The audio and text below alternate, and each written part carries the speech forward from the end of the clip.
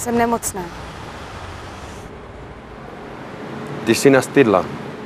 Ne. Mám nějaký virus a žádný doktor. Nikdo neví, co to je. A není na to zatím lék. Tak se mnou pojď domů. Ty i syn zůstanete u mě, v mém domě v Greenbow. Já se o tebe budu starat. Vezmeš si mě? A jsme u toho. Já mám prachy, ty jsi nemocná a už se mluví o svatbě. Ty si asi myslíš, že jsem úplně blbej, viď?